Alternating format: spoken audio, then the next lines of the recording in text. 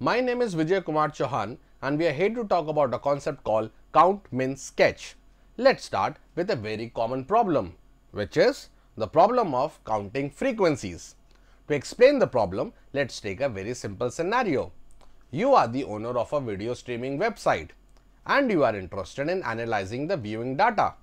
One such data is the video and the view counts and the purpose of this in data is to see if a video X is more popular than video Y or not.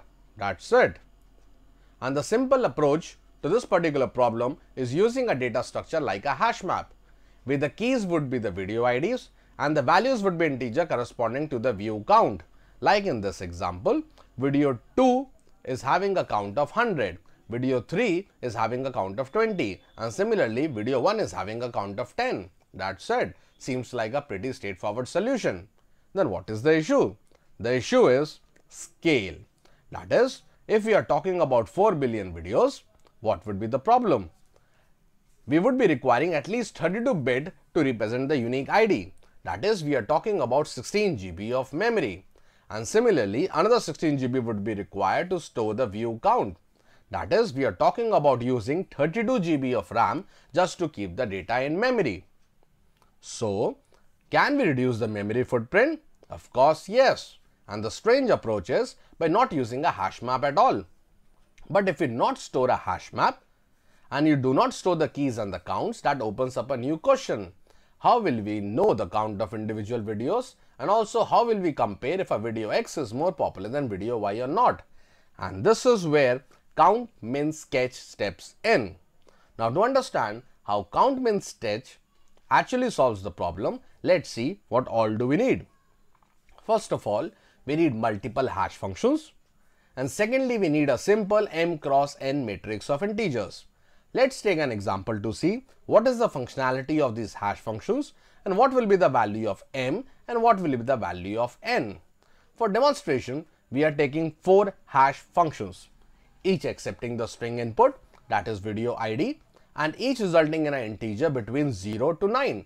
That is, we have 4 hash functions resulting in 10 distinct numbers and that is why our matrix is of the size 4 cross 10 and initially it looks something like this. We have 4 columns corresponding to the 4 hash functions, hash function 1, hash function 2, hash function 3 and hash function 4 and each of the hash functions can result in a number between 0 to 9. That's it. This is a data structure which will be used to store all the counts of all the videos. Let's watch a video and see how the count is stored. Our first video is video 1. Hash function 1 for video 1 gives us 5. Hash function 2 for video 1 gives us 1. Hash function 3 for video 1 gives us 4. And again, our hash function 4 for video 1 gives us 4. What does it imply? It implies we would be incrementing the first, uh, sorry, the fifth, the first, the fourth and again the fourth places in the corresponding columns. Let's see that why this diagram. As we said, hash function 1 for video 1 gives us 5. So let's increment the fifth index. Hash function 2 for video 1 gives us 1. Let's increment the first index. Hash function 3 for video 1 gives us 4. So let's increment the fourth index. Hash function 4 for video 1 gives us 4. So let's increment the fourth index. That's it. We simply have to repeat this process for every watch video. Let's see another example that is video 2 and the output of the hash functions are 3, 9, 3 and 4. It simply means we need to update or increment the corresponding indexes. Let's do that. Hash function 1 for video 2 gives us 3. So we simply increment the index 3 for the column hash function 1. For hash function 2 for video 2 we got 9 we simply have to increment the index 9 for the column corresponding to hash function 2.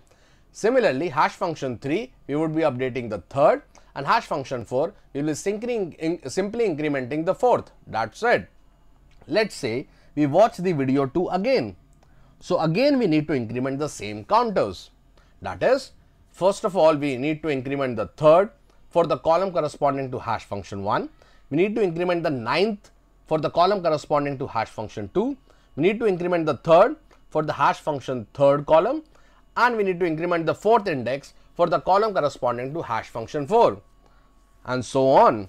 We can repeat this process till infinity. Then how do we get the count? Let's look at the other angle of getting the count of a particular video. Our input to this particular API is a simple video ID and our expected output is the view count of the video. Let's take a simple example. We want to get the count of video 1. Now hash function 1 for video 1 will give us 5. Hash function 2 for video 1 will result in 1. Hash function 3 will result in 4 and hash function 4 will result in 4. And why is that? Because we are using the same hash functions and same hash functions for same inputs would always give the same output. So we simply have to check for the fifth, first, fourth and the fourth index of the corresponding columns. So let's bring the matrix into picture and all we have to do is check the fifth index of hash function 1 we simply have to check the first index of hash function 2 and similarly the fourth and the fourth of hash function 3 and 4 respectively. And the values are 1, 1, 1 and 3. And why 3? Because we are allowing multiple videos to share the same counter in order to preserve the space. But what exactly is the count of video 1? We simply have to take the minimum of 1, 1, 1 and 3. And this is where we get the name count min sketch. To get the count, we simply take the minimum from the sketch. That's it. So video 1, the answer is 1. Let's take another example. We have video 2. For hash function 1 for video 2 gives us 3. Similarly, we get 9, 3 and 4. And why? We know the reason because we are using the same hash functions and giving the same inputs. And this is how the matrix looks like and the bits and the corresponding locations are 2, 2, 2 and 3. And what is the minimum of 2, 2, 2 and 3? It's 2 which means video 2 was watched at least twice. That's it. But wait, there seems to be a problem. What if other videos are incrementing the same indexes as a given video? Is that a probability? Of course, yes. Let's say video 1 is incrementing the 5144 index and video 2 is incrementing the 3934 index correspondingly for the various hash functions. And what if I'm talking about a never watched video that is video 3 and the output of the hash functions for video 3 is 3144 then we are running into a problem. The third index is already getting incremented by video 2. The first index is already getting incremented by video 1 and again for hash function 3 the index 4 is getting incremented by video 1. And interestingly, for the fourth hash function, the fourth index is getting incremented by both video 1 and video 2. So what would our API of get count return? Let's see. We would be returning the value present at 3, the value present at 1, the value present at and again the value present at 4th. And what is that? We would be returning the minimum of 2, 1, 1 and 3 that is 1 but this is wrong. Video 3 is never watched. So there is a problem actually not a problem but probability. So when collision occurs as in the last example we get an overestimated count and what exactly is an overestimated count? In our example the actual count was 0 but the return value was greater than 0 which was 1. But if you remember the example prior to the last one where there was no collisions, we were getting an exact count.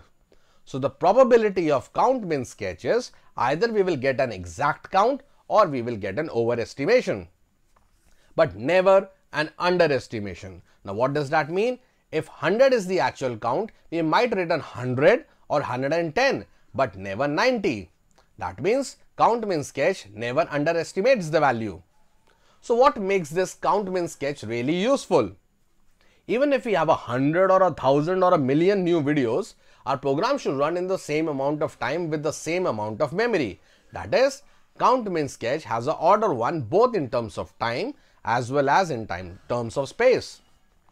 Then is there any problem? Of course yes.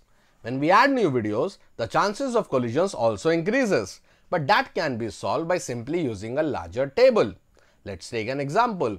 If we use a count min sketch of 1000 into 8, it implies if we use 8 hash functions and each map to 1000 length array, we would be requiring only 8032 bit integers that is approximately only 32 KB and earlier we were thinking of using 32 GB.